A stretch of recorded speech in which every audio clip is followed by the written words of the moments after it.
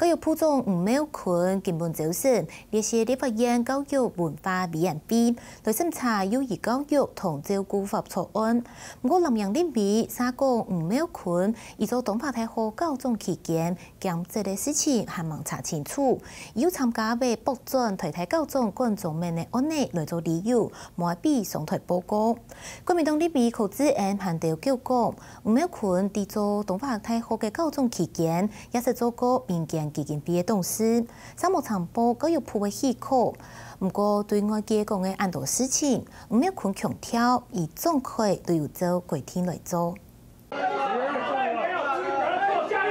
几廿年前当年，教育部长吴美群总算出现伫立法院，列席审查幼儿教育限购照顾法草案。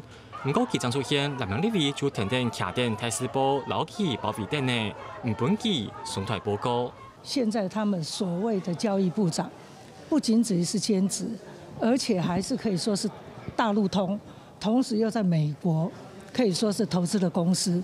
那这样子的一个无，也可以说是违法的部长，可以做这样子的一个违法的决策。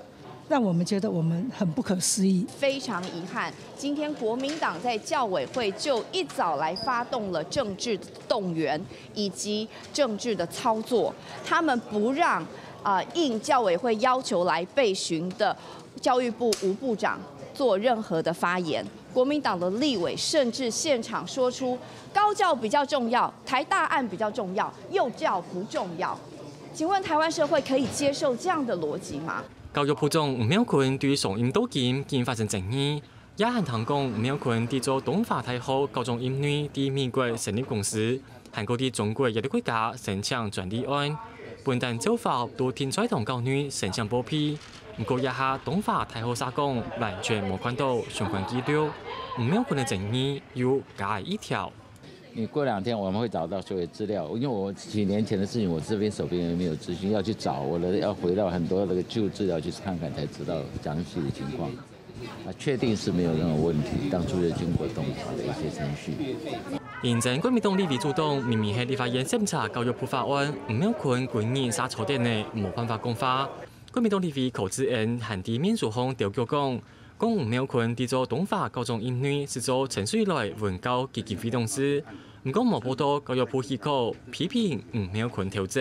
啊，那个也经过教育部同意啊。他说您是先偷跑。哪有偷跑？因为我是还没去当校长就已经是委员了，就是就是他那基金会，而且是文教基金会的董事，本来就合法。虽然唔有困老外界讲法，一类类报道转移，韩国强调下一步嘅就会整理资料，请机会对外说明。唔过要按到针对唔没有困的事件，下面就会引证观众面案来嘅。唔有群讲，一下观众们的偏音案含卡啲教育部人事处，为啲前段的时间内加加处理。客家新闻陈燕婷前做直播图。